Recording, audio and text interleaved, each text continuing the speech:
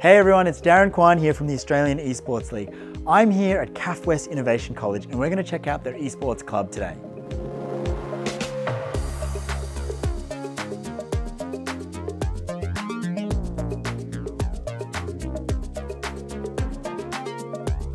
So my name is Luke De La Cruz and I'm the Technologies Leader here at Cath West Innovation College. My area of specialisation is media. So under that media umbrella we've got gaming, we've got animation. So you can see around our classroom space we've got students are really showcasing their talents and gaming is one element of that. As an educator, I'm challenged by that to say, look, how can I make it responsible and really build successful habits for the students and as an involvement of that, how can I then tie back to the curriculum so they're interested and they're engaged. So for some of our students, esports has turned into let's build a brand around it, let's then build some workshops to then teach other students how to sort of go into the industry, stream, go on Twitch, go on Discord, um, how to play and really be successful when it comes to um, playing a Rocket League, as well as how to monetize on YouTube.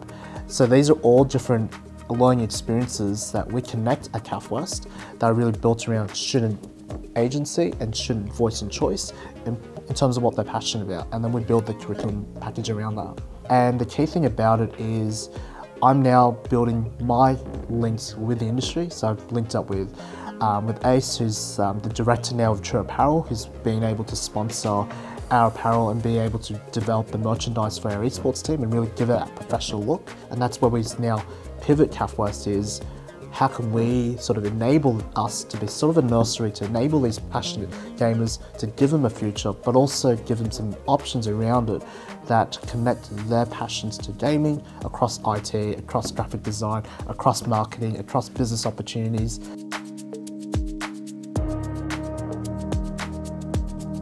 With Acer and having the Predator brand for gaming, it's a professional brand, but what we see benefit is it's not for the students, it's um, as a whole, it's also the community and their engagement, because we can then look at opening it up and say, look, we've got a facility where we can train up and coming, we can run it as a community, so it's not just exclusively to a school, it benefits the whole community. So Acer is a really great education partner, and so with schools using Acer Tech, you know, it's really just an extension of that. So if you've got a great relationship with Acer, should be looking at using Predator Gaming to really supply your equipment to really support the students, as well as these many, many community groups, organisations that are really wanting to build and have quite a successful esports program at your school.